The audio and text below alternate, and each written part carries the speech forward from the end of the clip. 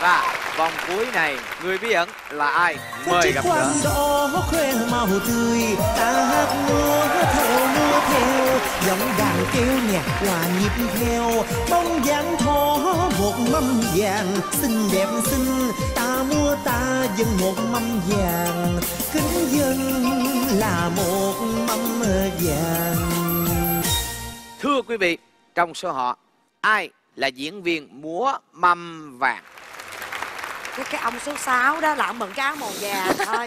Nha còn cái tướng của ông là trời ơi ông chi ông đứng bình thường là tôi muốn xỉu rồi. Nha còn bà đặt sữa bộ nữa. Cái áo màu vàng thôi. Mà nhìn ổng là thấy giống cái mâm rồi. Thôi. khỏi thôi hỏi coi như thế nào. Từ hồi em lên 5 tuổi á Ở nhà em hay à, thấy cái mâm là em múa Em múa may quay cuồng. Sau đó bây giờ em đã trở thành diễn viên múa mâm Từ nhỏ Em đã không được bình thường. Biết. Khi lớn lên cũng vậy. Em cho em đi khám bệnh nước ngoài. Bác sĩ bảo Muốn hết bệnh phải học múa mâm. Cho nên em là nghệ sĩ múa mâm. Múa mâm thì cần phải có một kỹ thuật rất là cao. Và một thân hình thật là uyển chuyển cho nên em là diễn viên múa mâm nhìn cái tướng là thấy mời gọi rồi. Đi về nơi xa lắm Cuộc đời em Có duyên với cái mâm Em đã thích mâm cơm. Lớn lên Em đi bưng mâm ngũ quả. Và kể từ khi biết lái xe Em thích cái mâm xe nữa. Cuối cùng Em đã là một thành viên trong nhóm múa mâm Và em chính là diễn viên múa mâm Ngoài việc học ra, em còn đi làm phục vụ ở các nhà hàng. Khách á, thì cứ kêu món liên tục, khiến cho kỹ năng bưng mâm của em ngày càng phát triển. Và em chính là một diễn viên múa mâm. À, em xin tự giới thiệu. Em à, có một khuôn mặt à, như cái mâm. Khả năng lẩu nấm. Và hôm nay là năm 2015 Em xin trình bày một điệu múa mâm trời ơi trời Duyên sợ ông ơi không biết chừng nào mới về nữa nè. Rồi hỏi đi. Xin ban giám khảo đừng nhìn ngoại hình mà bình năng khiếu.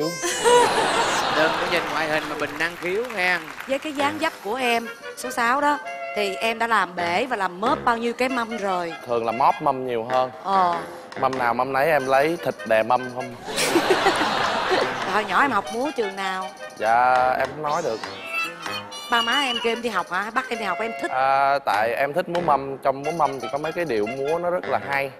Múa truyền mâm Múa xoay mâm. Em à, em rất là thích những cái điệu múa uyển chuyển giống vậy.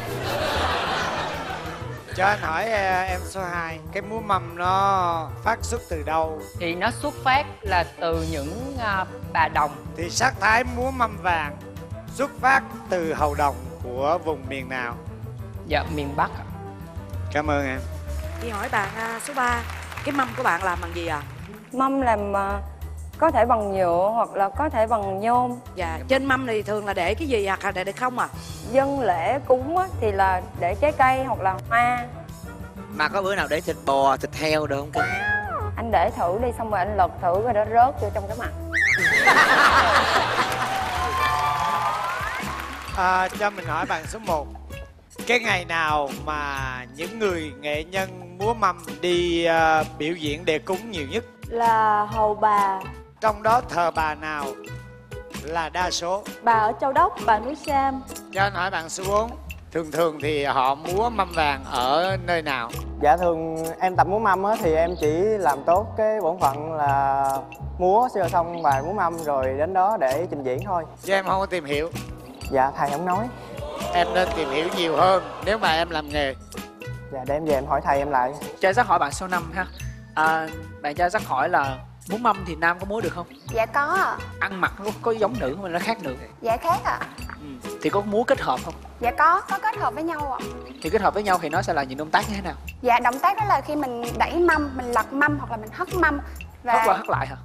Dạ không ạ, mình tự mình đảo xoay thôi mình tự xoay mình tự giữ ý mỗi em, người một cái ý mâm. em nó nói là chỉ có một người múa một dạ mâm đó thôi chứ không có không có đưa qua đưa lại được một mâm hoặc là hai mâm trên tay thôi Dạ. rồi mình xoay thôi anh hỏi bạn số 3 thường thường múa mâm để thờ cúng thì nam múa hay nữ múa Để thờ cúng thì ờ, nam và nữ đều múa được ạ. Thì nam á, thì thường thì giả gái để lên đồng nó Có sẽ dạ. hay hơn. À. cái nhạc lễ dùng trong múa mâm là bài nhạc nào em biết không Nhạc lễ thì em cũng không không rõ. chưa nghiên cứu Dạ, thầy của em là ai dạ em học nhiều thầy cô.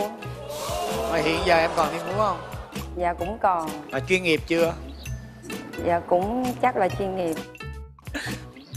cho chắc hỏi anh số 6 thì khi trang phục khi anh uh, múa mâm mà anh mặc cái gì ạ trang phục múa mâm á thì à, tùy theo cái à, lễ hội mà mình à, ở cái nơi đó mà mình sẽ mặc thì trong lúc anh múa từ xưa giờ anh có gặp tai nạn giống như bị lật mâm rồi xong rớt đồ rồi mâm à, đập vô mặt nhiều nên giờ phải mặc mâm Cảm ơn các bạn. Và bây giờ chúng ta có một gợi ý nho nhỏ. Nhạc sẽ vang lên.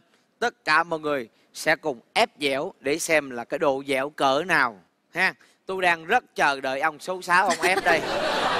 Nhiều khi ông không ép dẻo mà ông ép mía nữa tôi mệt nữa. màu tươi ta hát theo theo. Giọng đàn kêu nè hòa nhịp theo bóng dáng thó một mâm vàng. Xinh đẹp xinh ta mua ta dâng một mâm vàng. Kính dân là một mâm vàng. Cái gì mà bên này bơi không vậy? Mời các bạn lựa chọn người bí ẩn.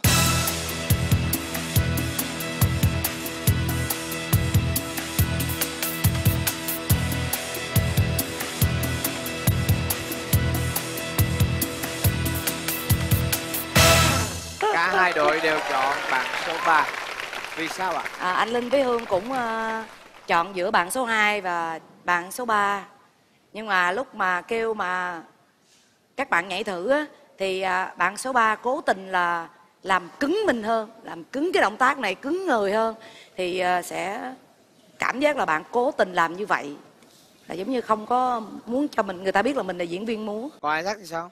à, thực ra là Isaac với Tiên đã biết là bạn số 3 Nhắm rồi số- nhắm là bạn số 3 từ đầu rồi tại vì nó nằm ở cái thần thái và cái dáng đứng. Và thực ra là vẻ rất là thanh thoát. cô số 5 bên đây cũng rất đứng rất thẳng dáng tuy nhiên thì cái thần nó không thái có sự đúng giải rồi. phóng về gọi là cơ thể có một cái sự thoải mái à, khi à, khi đứng giống như ở bạn số 3 và khi ngay cả cái bạn số 3 khi mà bạn múa thử á, mặc dù bạn đã cố gắng làm cứng rồi nhưng mà cái dáng đi của bạn á nó thực sự nó thanh thoát hơn tất cả các bạn còn lại Isaac và Tiên chọn bạn số 3 Người bí ẩn. À.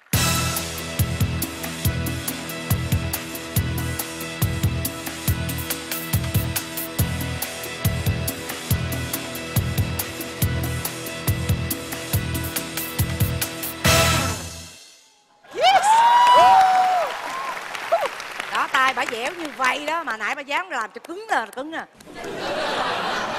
Dạ, thật ra em tên là Hạnh Thảo Em là diễn viên kịch Dạ em tên là Giang Huy, em đang là nhân viên tổng đài.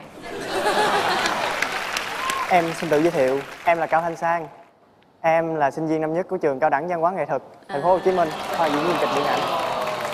Em tên là Tường Oanh, hiện tại em đang là diễn viên tự do. Thực sự là em không biết gì về múa mâm cả. Ơn em. Đây nè.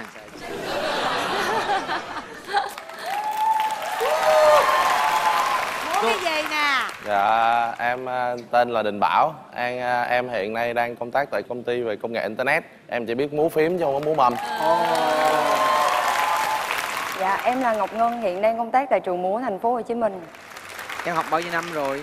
Em học ờ, trung cấp 7 năm và học đại học 4 năm. Cái bộ môn này so với những bộ môn múa còn lại nó khác nhau những cái điểm đặc biệt ngoài cái mâm ra là cái gì?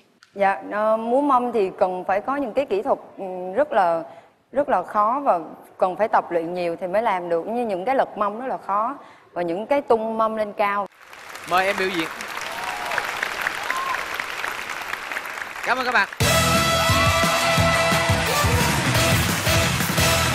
Quý vị và các bạn thân mến, và bây giờ chúng ta sẽ theo dõi phần biểu diễn múa mâm của vũ công Ngọc Ngân cùng với tất cả những vũ công đến từ trường múa thành phố.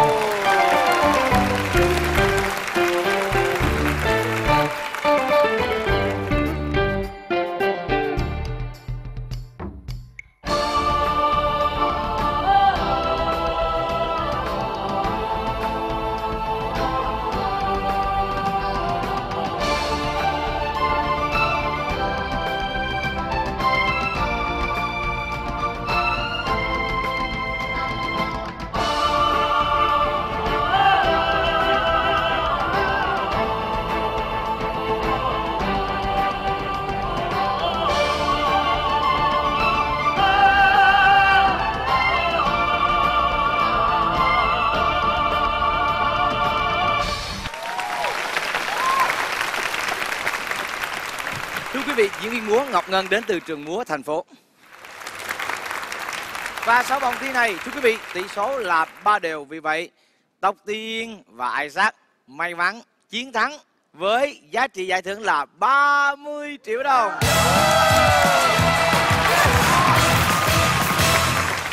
Bên cạnh đó các bạn sẽ có được một phiếu mua hàng trị giá 10 triệu đến từ hệ thống Trung tâm mua sắm Sài Gòn Nguyễn Kim và hai chai nước hoa Cindy. Cảm giác thế nào? Xin mời.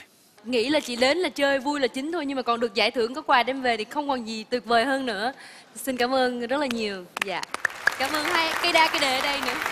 Thì lần thứ hai là em Isaac được đến đây ờ, chơi trò chơi người bí ẩn và thực sự là ờ, có thể nói là lúc nào cũng vậy được gặp chị ờ, Việt Hương, anh Hoài Linh, Trấn Thành thì cười đã luôn rồi và ngày hôm nay là một cái buổi rất thú vị mà được mình được chứng kiến những cái ờ, những cái loại hình nghệ thuật mới mà mình chưa bao giờ được Ừ. chứng kiến. Và cảm ơn chương trình đã tạo điều kiện cho Isaac và Tóc Tiên được chơi ngày hôm nay. Và à, hy vọng rằng là người ẩn sẽ luôn luôn là một cái sân chơi thú vị dành cho tất cả những nghệ sĩ